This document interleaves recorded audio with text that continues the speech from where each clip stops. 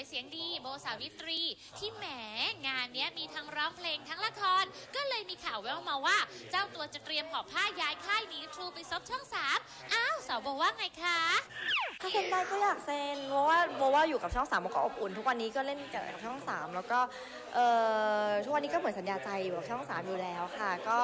บอกว่าทางทรูก็คงไม่มีปัญหาหรอก แต่ว่าเอ่อตอนนี้สัญญาเราก็ยังอยู่กับทรูอยู่ ก็ยังโอเคดีนะ แล้วก็แต่ถ้าช่องสามที่